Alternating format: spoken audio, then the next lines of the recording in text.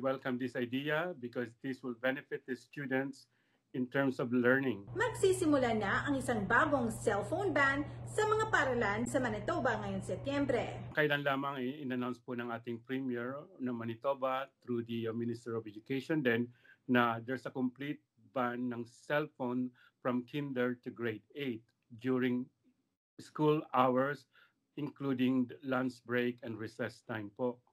At sa grade 9 to 12 po ay ban po during classroom hours at during lunch break it's still under the discretion of the teachers. Huwebes nang inanunsyo ang bagong ban.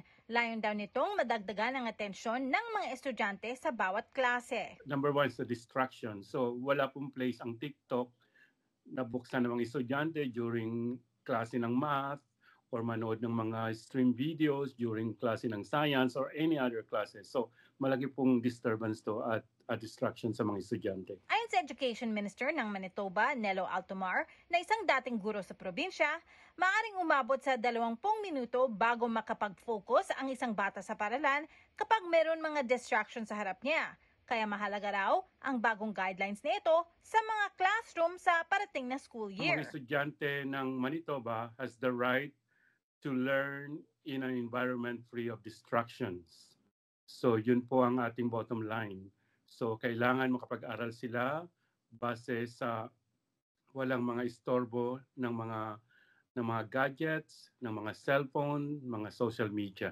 Naghahanda na ang Winnipeg School Division para sa pagpapatupad sa bagong guidelines. Mari namang magkaroon ng exemption sa cellphone ban ang mga kapataang meron diverse learning needs katulad ng mga EAL o English as an Additional Language Support And students. as long as it's it is is it act as an educational aid for the student, it it should be allowed.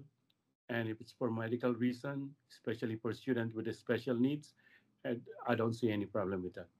Teresa Barrera, Omni News, Vancouver.